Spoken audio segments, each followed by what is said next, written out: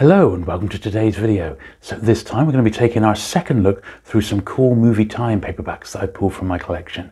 Um, some real crackers in this one and uh, I'm sure if you love movies and movie tie-in and vintage paperbacks as much as I do, you're going to really love this video. So sit back, relax and let's get to it.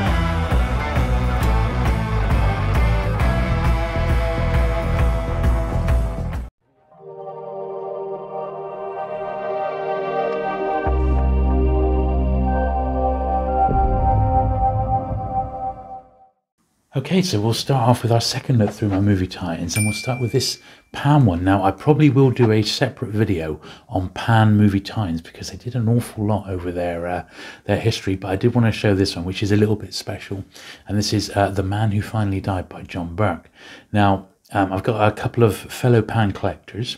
Um, one is called Tim Kitchen. He runs the Pan Collectors website and he has the original cover artwork to this one. So this is, um, it's got Stanley Baker there and uh, obviously Peter Cushing are the main stars. And he owns the original um, cover artwork by Sam Peff. Um, he also has a copy of this signed by Peff. Then I've got another chap, a friend of mine, Johnny Mains, and he's a horror editor and author. And he has a copy signed by John Burke. And here's my copy that I've had since I was a kid.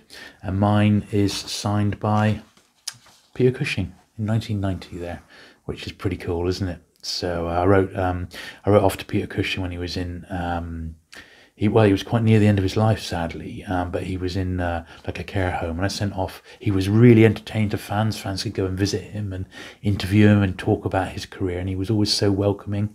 Um, so a friend of mine gave me his address said just send a few bits and pieces off which is what I did and it included this uh, this Pan book here. So uh, yeah absolutely lovely that one and a real highlight of the collection and I thought, well, it does fit. It is a movie tie, so I thought I'd put it in here. Um, next, um, that early 70s uh, film, sci fi movie Logan's Run. Always fascinated by this one when I was a youngster, and it still holds up pretty good today. Uh, Michael York, yeah, Jenny Agutter. Um, I think this is uh, early to mid 70s. Yeah, so this edition is 1976, but this it first came out in 1970, so I guess that was sort of tying in with the movie back then, amazingly. This is an interesting one. Um, this is released under the Panther science fiction uh, imprint by Colin Wilson. It was his book, The Space Vampires, and it was filmed as Lifeforce. Um, always had a soft spot for um, uh, Colin Wilson. Um, I actually did a, uh, an event with him many years ago when I was in the uh, in the book trade. Did a signing together, and that was it was packed. It was fantastic, absolutely brilliant, brilliant event, and you couldn't believe what uh, what a knowledgeable chap he was. He really, really was. Um, so yeah, so really uh, interesting film that one. Um, if you've never seen it, um, she, I got to say she does spend most of the movie walking around, pretty much stark naked, but that's maybe half the charm. Um, this is a great one, and I believe it's it's quite scarce. U.S. edition, and this is uh, the making of the movie Jaws by Edith Blake um, on location on Martha's Vineyard, which is obviously where a lot of this was filmed. Um, this is a, it's American edition, but it's got a UK import sticker on there. Um, lots of photos in this one, behind the scenes stuff. Um, I particularly like the uh, chapter headers and things uh, where they got the shark on, which is pretty cool. Um, yeah, quite quite a scarce book this one, and I think if you're into the movie Jaws, and I know quite a few people are, um, it's worth getting. Now look at that, that's interesting. Look, this is a fifth printing from October 1975, and only it was only published in July. So I would say, evidently, this came out and was already a bit of a success. I, got, I pretty much think this is probably the only copy I've ever come across. Um, but if you're into Jaws, I think it's definitely worth uh, getting your hands on one. Another great, great film, uh, The Italian Job, um, another Michael Caine 1960s classic. Um, Troy Kennedy Martin uh, went on to do um, uh, The Sweeney, I believe. Um, amongst other things, he was he wrote for a lot of stuff for TV as well as film, um, and with a few stills on the back there, that the famous minis, and uh, there's uh, Noel Coward in prison and um, Michael Caine there. great, great stuff. Music by Quincy Jones, really memorable soundtrack. Um, there we are, look. A pound I paid for that one. I think that was a, a pound well spent, don't you? I'm just trying to see when this edition came out, if it was 60s or not. Yeah, look. First published in Great Britain in 1969, reprinted in July 1969, not available in any other edition. So I guess they're saying this was a paperback original rather than a uh, rather than having any sort of hardback. So that's pretty good. Pretty good. That's the Italian job. This is another great film that I, I loved and quite haunting when I uh, watched this when I was growing up. That Invasion of the Body Snatchers. This is tying in with the tying in with the Donald Sutherland and uh, Leonard Nimoy version back in uh, the late seventies again, was it, or very early eighties? Let's have a look here. 78 was it really that long ago yeah um once again this one had a uh, a photo novel released for it as well um, back to the 60s another michael caine one uh, the Ipcress File um, penguin did uh, tie-ins for the other um, uh, movies in this series, but this is a, a, nice particular one. It's also a Panther crime band. I don't know if you've ever come across these before, but I'm, I'm, still looking for a definitive list of all the books that were released as Panther crime bands. I've got maybe 10 or so, and I really, really like them. It's really like distinctive. Um, so if anyone's got a list of those, I'd love to know. Um, this particular edition, Panther Crime Band edition, first published February 1966, that one. And it certainly uh, is a great one, isn't it? Another very popular movie tie, and that's uh, Midnight Cowboy. Um, Jon Voight and Dustin Hoffman there. Great film if you've never seen it. Um, good stuff. Good, good stuff. Jon Voight, of course, was the, uh, or is, he's still alive, the father of um, Angelina Jolie. He's her dad. Bit of a 50s one, this, a British 50s one. So this is Tony Hancock in The Rebel. So The Rebel was, uh, Hancock was a huge star in the UK on radio and then he had a BBC TV show. Um, he also did a couple of movies, uh, Punch and Judy Man and The Rebel. So this was, uh, neither of the movies are that great, to be honest. Um, I think this one's better than The Punch and Judy Man. And uh, this is the film tie into that one. Uh, pretty scarce, I believe, that, uh, that particular film tie. This is an American um, movie time for a British film, which is Room at the Top. John Braine, quite a, a famous, famous movie, that one. Nice condition, that one as well. Room at the Top. Um, this was another sort of late 70s, early 80s British movie. It was uh, Handmade Films who produced the uh, um, like the Monty Python movies. Um, it was uh, the film company financed by George Harrison, one of the Beatles and uh, this was the adaptation of Scrubbers, quite a harrowing movie about sort of Borstal life in a, a women's prison. Um, yeah, 1982, that one. Quite scarce, I believe, that particular book. And it sold very well at the time. Something a bit more modern. Uh, fantastic movie, uh, Saving Private Ryan. Um, this was uh, adapted from the screenplay by um, Max Allan Collins, who's an absolutely fantastic author in his own right and a real star of um, of uh, like noir fiction. Amongst other things, I remember reading some of his comics. In fact, um, uh, some time ago, a real accomplished author. That's his adaptation of Saving Private Ryan.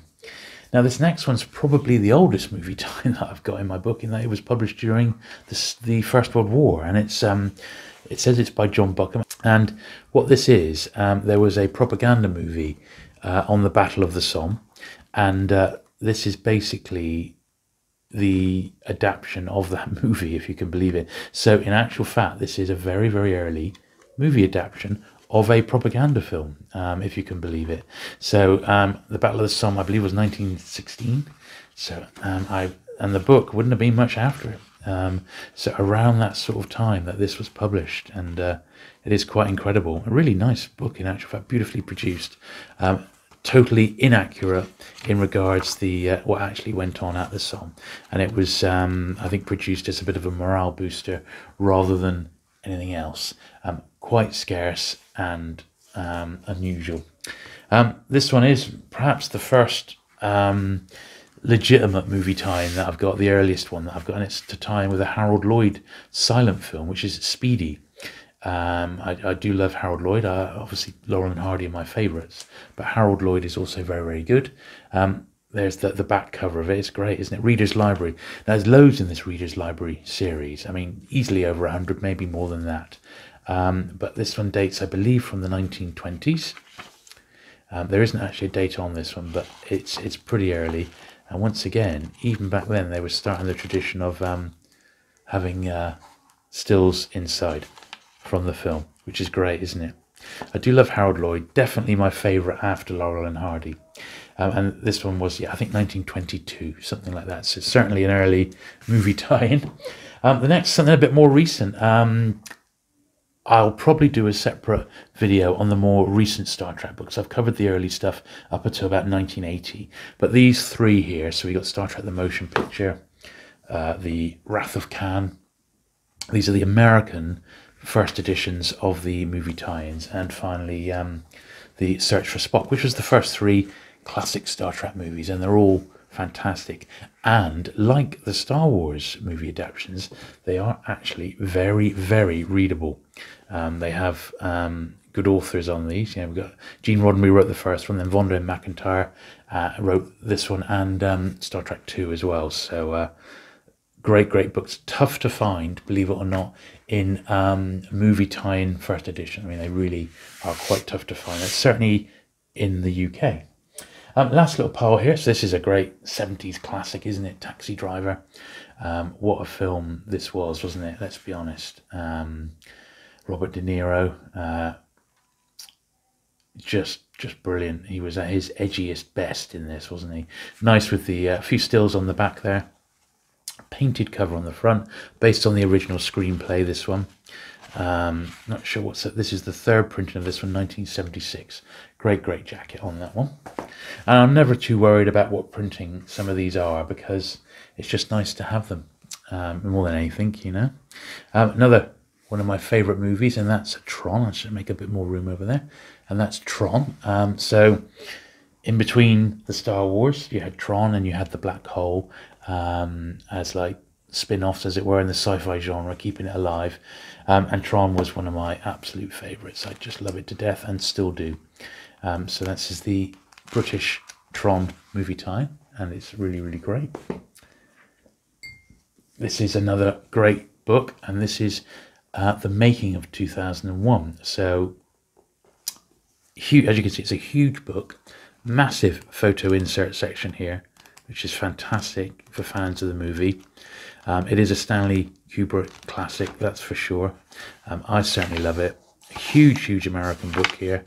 Um, this is the fifth printing, but first published in, oh no, first, first printed in, in hardback. It's got first printing down there in 1970. But as I said, quite scarce to find over here. This is a nice, tight, tightly bound copy of what is quite a scarce, scarce book. If you're into 2001, you definitely want to track yourself one of these down. Now, the next one's one that's become quite collectible recently, and that's uh, Westworld. So, on the back of the HBO series, which as we film this is in season three now, um, Westworld, the original book, has become highly sought after, particularly um, this edition with the uh, new introduction by the author um, after the movie, and also the uh, the cool 32 page photo insert again, tiny with them. And as you can see, it's a really, really tight, nice copy of this one I've had for years. Um, it is also, I believe, yeah, it is also the first from March 1974. Um, great, great stuff. If you've never seen the original Westworld, it's superb. I really do recommend it. And this particular book, I've seen, if you look on eBay under completed auctions, copies of this are over £60, which is incredible. I've just had it since back in the day, you know. Um, just a handful more to go through now. So this was another interesting one. It was a non-hammer, but that sort of style, uh, late 60s, early 70s horror movie, Witchfinder General. I think this one was early 70s. Um, Vincent Price was in it, and uh, Ian Ogilvy, who went on to become the Saint. Um, and this slightly battered old copy was from 19, 1968, but quite scarce, that Witchfinder General. And then a couple more just to finish off with the Beatles. And uh, once again, I have done um, a, a, video on Beatles movie tie-ins um, and Beatles paperbacks. And um, I'll do a link to that one up above.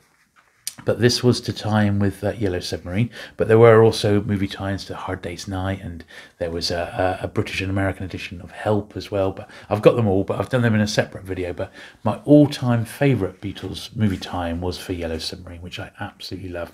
That's the um, British one, published by New English Library, and this is the American one, published by Signet. Absolutely fantastic stuff. Scarce books to find. They're the same inside, uh, but very scarce books to find in nice high grade. Um, so if you ever do come across the Beatles books, I'm sure um, if you're like me, you'll pick them up in a flash because they're just superb. Really, really great stuff. I love them as I love the Beatles. Okay, so there we go. So that finishes the second look at some of my perhaps cooler movie times. I do hope you have enjoyed looking through them as much as I have. Um, some really, really uh, great books in there and um, they are very much fun to collect. If you have enjoyed this video, do please give it a thumbs up. Do please consider subscribing if you haven't already for regular vintage paperback content and I shall look forward to seeing you again very soon. Bye.